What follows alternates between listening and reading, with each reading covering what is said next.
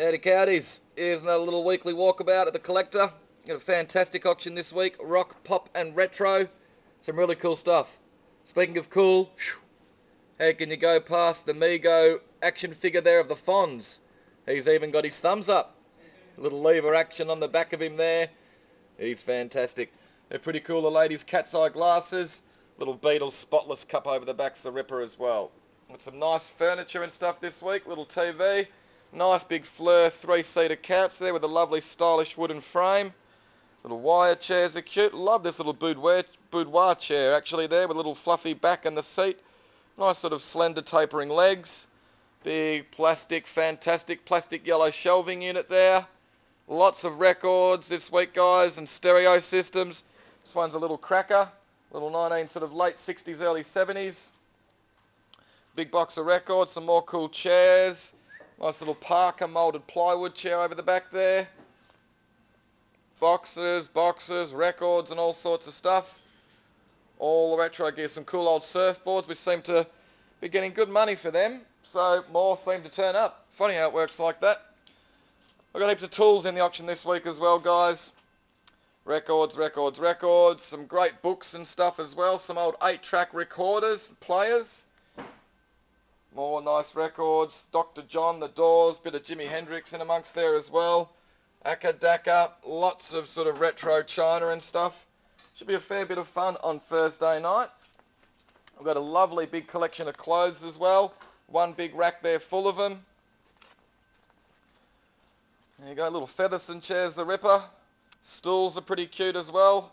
Little orange shelf over the back's pretty nice also. Another nice bit of fantastic plastic.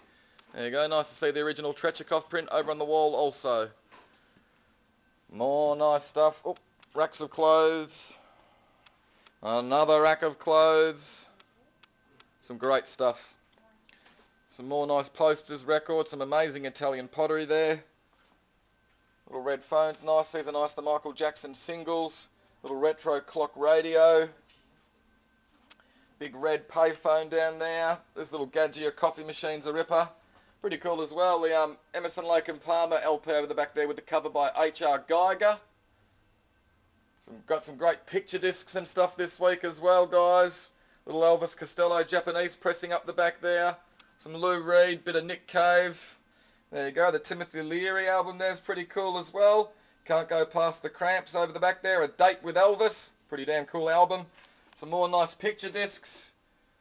There you go, a couple of Doors LPs. Number 13 LP is a bit unusual. You don't see that floating around very often. What else we got? Nice lot of gents, uh, sort of pin-up girl magazines. Lovely big bit of art glass. The Beatles wig, the plastic Beatles wig's fantastic. Some more nice records and books. The boxed AC/DC vinyl set's nice as well. Bit of Iron Maiden over the back there, the picture disc. This is nice. The first English pressing there, the Led Zepp 4. Got the Rolling Stones bootleg. Some lovely tin toys, little caravan there, and the little car to tow it. They are separate lots though. Nice big Nino Parrucca charger as well. Anyway guys, that's going to be about it for today. Hopefully you saw something pretty cool you liked. Hopefully you backed the winner in the Melbourne Cup. We didn't. Oh, I think Ray did actually. So it's his shout. Anyway, we'll see you on Thursday night.